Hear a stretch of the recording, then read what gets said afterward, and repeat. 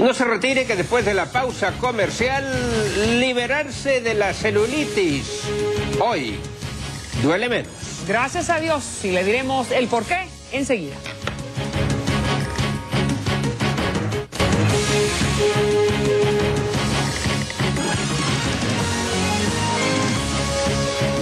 Noticias. Si usted es una de esas personas que se había resignado a vivir con la celulitis por evitarse la cirugía y otros tratamientos, pues piénselo de nuevo. ¿Vieron esas tremendas inyecciones para sacarle la grasa? Bueno, como nos cuenta Carolina Jaramillo, una nueva técnica menos dolorosa Gracias a Dios. podría hacerle cambiar de opinión. Vamos a ver. ¿Tortura china? No, pero casi. Muchas mujeres están dispuestas a someterse a cualquier tipo de tratamiento para deshacerse de la indeseada celulitis.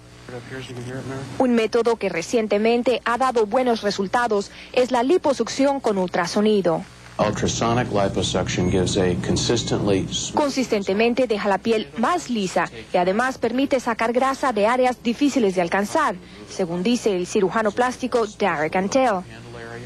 Uno de los avances más importantes que se han logrado es la clase de anestesia utilizada para este procedimiento. Usamos anestesia cosmética. Aplicada a través de esta cánula, permite introducir el anestésico en el tejido. Así también se acorta el tiempo de recuperación de esta cirugía y no requiere hospitalización. You can go home afterwards. You do not need to stay in a hospital. El paciente se puede ir a casa el mismo día y volver a su trabajo después de tres a cinco días de reposo.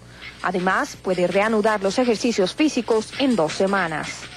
La liposucción es la cirugía cosmética más común, sorprendentemente en hombres y mujeres casi por igual. La liposucción sigue siendo un procedimiento quirúrgico y a pesar de que hoy en día hasta los doctores ofrezcan financiar el tratamiento, el paciente debe investigar muy bien en qué manos encomienda sus rollitos de grasa. Doctor is in fact board certified, but in a field ¿Está certificado el doctor por la asociación de su especialidad?